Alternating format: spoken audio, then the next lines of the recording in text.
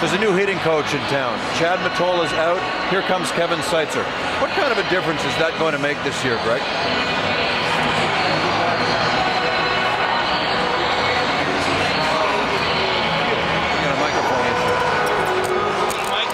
You're so mesmerized by the uh, 46,000 and change here that Come closer to me, Jamie. Go ahead and talk. Yeah, Kevin Seitzer's a really good hitting coach. He's going to tell him to get up the middle and use the big part of the ballpark, especially with runners in scoring position. I know we're close, but it's kind of uncomfortable being that close to you as we look at Seitzer in the uh, Blue Jays dugout. You know what?